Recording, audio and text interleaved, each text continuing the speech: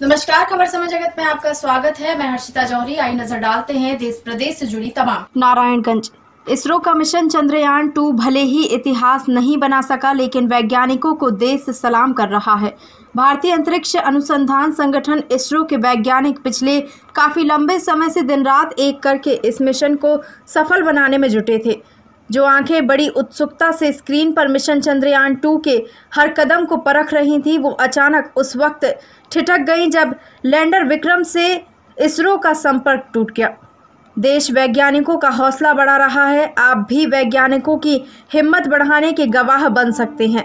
साथ ही आप वैज्ञानिकों को शुभकामनाएँ भी दे सकते हैं, ताकि देश की तरक्की के लिए दिन रात एक करने वाले वैज्ञानिकों तक ये बात पहुँचे कि देश का नागरिक इस ऐतिहासिक पल के दौरान उनके साथ था और आगे भी रहेगा। वैज्ञानिकों के सराहनीय काम को सलामी देते हुए जिला मंडला के गाँव पडरिया में नव युवा दुर्गा उत्सव समिति के सदस्यों द्वारा पिछले एक साल से मेहनत करके चंद्रयान टू की झांकी बनाकर वैज्ञानिकों को सलामी दी गई। भाई साहब जो मिसाल बनाया गया है वो किस उद्देश्य से बनाया गया और किसके माध्यम से? ये हमारी समिति के द्वारा ही बनाया गया है।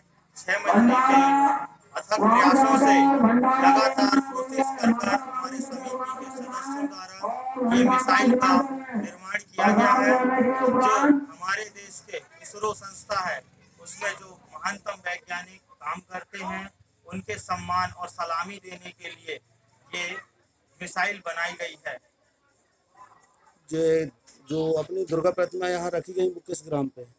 ये ग्राम पड़रिया नवयुवक दुर्गा उत्सव समिति मेन रोड पड़रिया में ये अद्भुत झांकी का निर्माण किया गया है।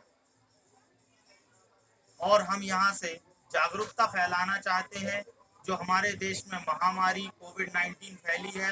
मास्क लगाएँ, दो गज दूरी बनाए रखें, और हमारे माननीय प्रधानमंत्री नरेंद्र मोदी जी का कंधे से कंधा मिलाकर साथ दें। खबर समय जगत के लिए नारायणगंज से बैनीलाल सिंगरौरी की report. For latest news, subscribe to our channel and press the bell icon.